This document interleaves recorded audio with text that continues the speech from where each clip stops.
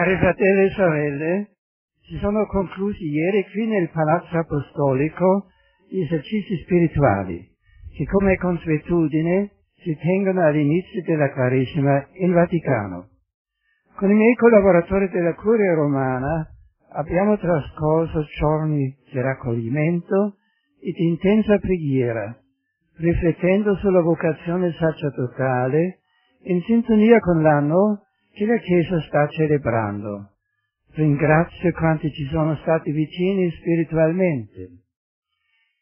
In questa seconda domenica di Quaresima la liturgia è dominata dall'episodio della trasfigurazione, che nel Vangelo di San Luca segue immediatamente l'invito del Maestro se qualcuno vuol venire dietro a me, rinneghi se stesso, prenda la sua croce ogni giorno e mi segua.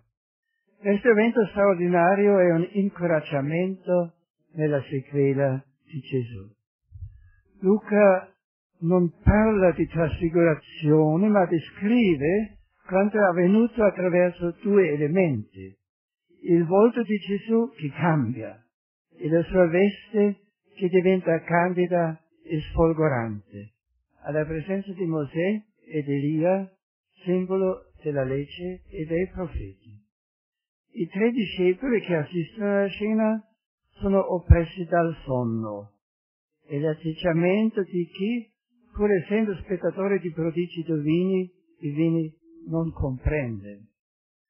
Solo la lotta contro il torpore che li assale permette a Pietro, Giacomo e Giovanni di vedere la gloria di Gesù. Allora il ritmo si fa incalzante. Mentre Mosè ed Elia si separano dal maestro, Pietro parla e mentre sta parlando una nube copre lui e gli altri discepoli con la sua ombra. È una nube che mentre copre rivela la gloria di Dio, come avvenne per il popolo pellegrinante nel deserto. Gli occhi non possono più vedere ma le orecchie possono udire la voce che esce dalla nube, questo è il figlio mio eletto, ascoltatelo. I discepoli non sono più di fronte ad un volto trasfigurato, né ad una veste candida, né ad una nube che rivela la presenza divina. Davanti ai loro occhi c'è solo Gesù. Gesù è solo davanti al Padre suo mentre prega ma allo stesso tempo Gesù solo è tutto ciò che è dato ai discepoli e alla Chiesa di ogni tempo. È ciò che deve bastare nel cammino. È Lui l'unica voce da ascoltare, l'unica da seguire, Lui che salendo verso Gerusalemme donerà la vita e un giorno trasfigurerà il nostro misero corpo per conformarlo al suo corpo glorioso. Maestro, è bello per noi essere qui e l'espressione estatica di Pietro che assomiglia spesso al nostro desiderio di fronte alle consolazioni del Signore. Ma la trasfigurazione ci ricorda che le gioie seminate da Dio nella vita non sono punti di arrivo, ma sono luci che Egli ci dona nel pellegrinaggio terreno, perché Gesù solo sia la nostra legge e la sua parola sia il criterio che guida la nostra esistenza. In questo periodo quaresimale invito tutti a meditare assiduamente il Vangelo. Auspico inoltre che in quest'anno sacerdotale i pastori siano veramente pervasi dalla parola di Dio, la conoscano davvero, l'amino al punto che essa realmente dia loro vita e formi il loro pensiero. La Vergine Maria ci aiuti a vivere intensamente i nostri momenti di incontro con il Signore perché possiamo seguirlo ogni giorno con gioia. A lei volgiamo il nostro sguardo invocandola con la preghiera per Angelus. Angelus Domini nunciavit Mariae.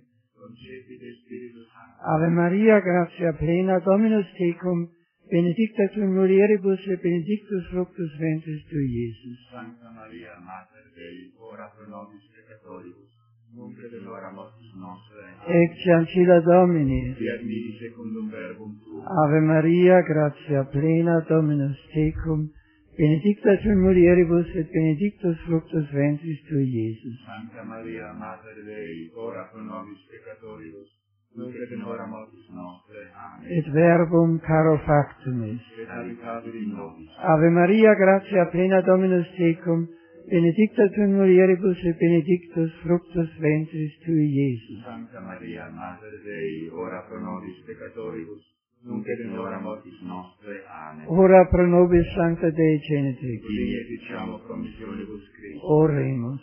Gratiam tuam quesumus Domini mentibus nostris infunde, ut che angelo nunziante, Christi filius incarnation coniovimus, per passionem ius et crucem, ad resurrectionis gloriam perducamur, deundem Christum Dominum nostrum. Amen. Gloria Patri, et Filii et Spiritui Sanctus. Sicut erat in principio et nunc et semper, et in saecula saeculorum. Amen. Gloria Patri, et Filii et Spiritui Sanctus. Sicut erat in principio et nunc et semper, et in saecula saeculorum. Amen. Gloria Patri, et Filii et Spiritui Sanctus. Sicut erat in principio et nunc et semper, et in saecula saeculorum. Amen. Profitieribus defunctis requiem aeternam dona eis Domine. Et lux perpetua luce eis. Requiescant in pace. Amen. Sit nomen Domini benedictum.